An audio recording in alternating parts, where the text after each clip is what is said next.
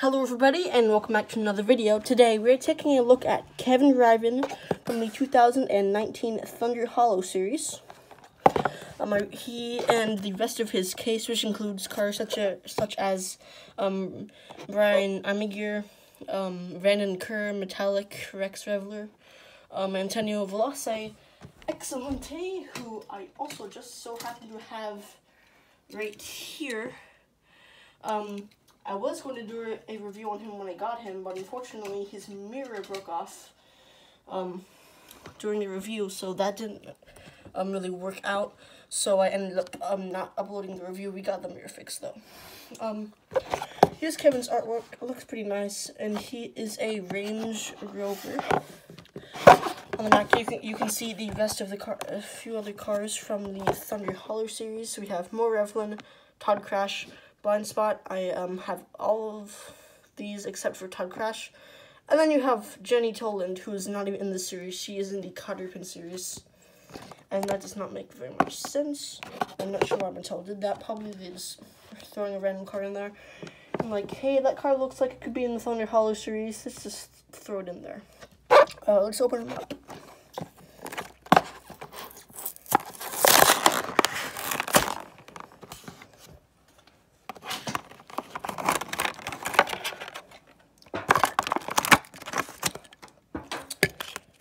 Tag. and here he is out of the packaging. Uh, I got him for around $16 or $17.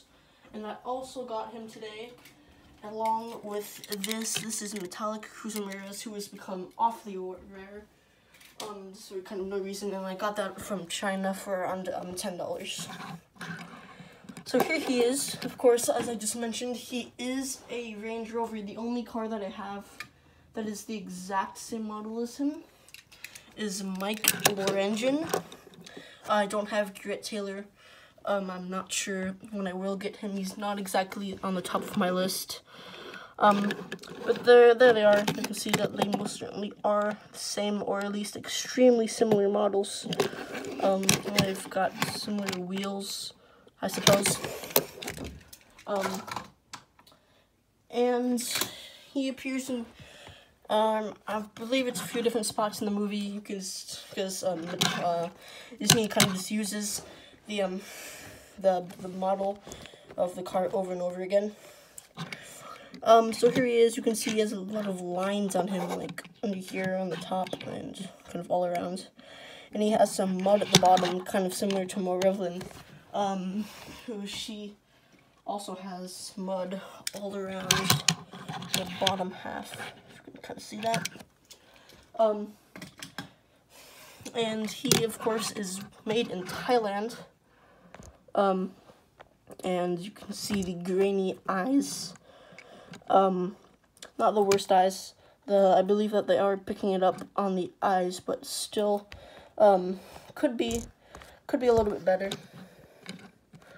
And um, a nice part is you have the Range Rover, a little um, words right there, and have some kind of logo up there. And you don't think that's the Range Rover logo.